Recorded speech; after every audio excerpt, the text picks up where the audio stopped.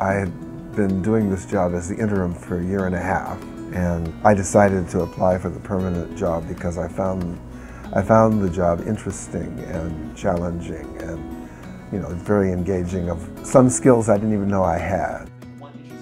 I, I think the school is is heading to be a, a much more dynamic contributor to the overall life of this campus, um, academically, culturally, socially.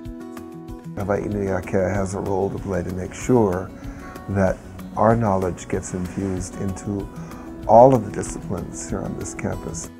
One very important priority is to get a proper facility, a proper place for Kawaihuelani School of um, Center for Hawaiian Language.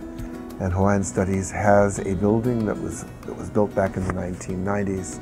Um, that's still one of the most beautiful buildings on campus. And Kawaihuelani has been basically sort of stacked into very small quarters here um, in this building in Spalding. And we are looking for the day when we can actually build a much larger building where Hawaiian Studies is.